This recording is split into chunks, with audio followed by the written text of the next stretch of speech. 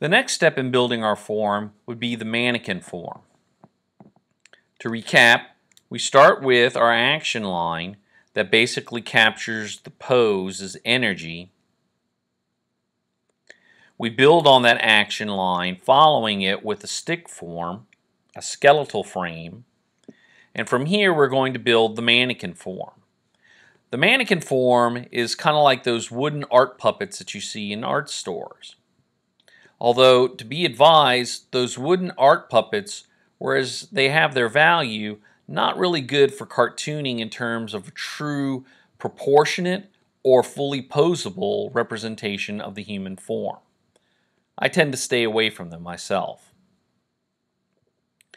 Simplifying the form that you're going to draw into basic geometric shapes helps you start planning out perspective proportion of the anatomy you're eventually going to render in.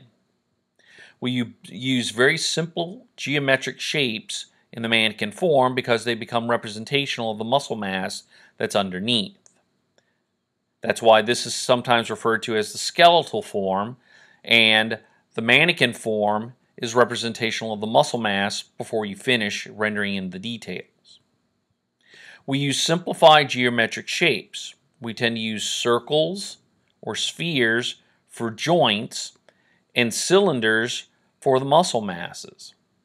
It's important to note that we tend to use those cylinders, but they tend to be tapered. Again, they're representational of muscle masses before you start drawing in the details of the muscles.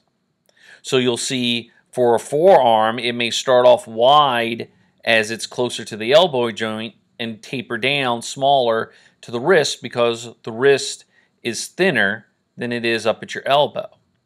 The same thing for the thighs and for the calves. So that truly the mannequin form is built on top of the skeletal form in simple geometric shapes that are both proportionate and in some cases in perspective of the final form you're trying to render.